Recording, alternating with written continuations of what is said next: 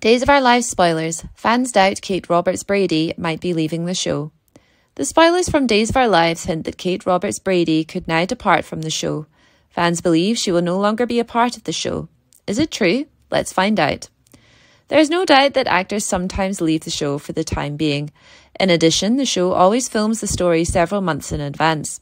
So the actor's departure from the show for some time doesn't make much difference to the show. Lauren Koslow, who portrays Kate Roberts Brady in the show, left the show for some time in October 2022. Lauren's daughter was getting married, so Lauren took some time off of the show. Currently, Kate Roberts has vanished from Megan Hathaway's lab, and she is nowhere to be found, so some fans have started to think that she will no longer return to the show. There is no doubt that Kate and Bo Brady ran into some problems in the lab. However, Bo hasn't shot Kate. He just doesn't want to take any orders from Megan. Meanwhile, the spoilers hint that Kate won't be there in the show during the week of March the 27th. Does that mean she has left the show?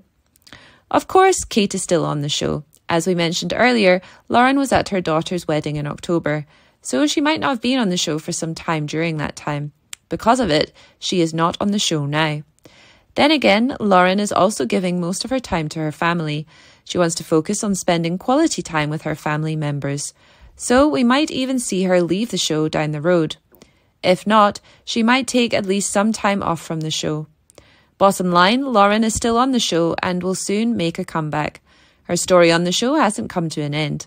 Moreover, there isn't any official news of her departure from the show, so fans shouldn't worry about her leaving the show anytime soon.